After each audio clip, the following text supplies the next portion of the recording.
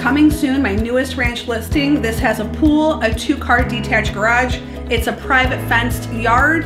It is gorgeous, contemporary. Basement is finished. Guys, don't miss this one.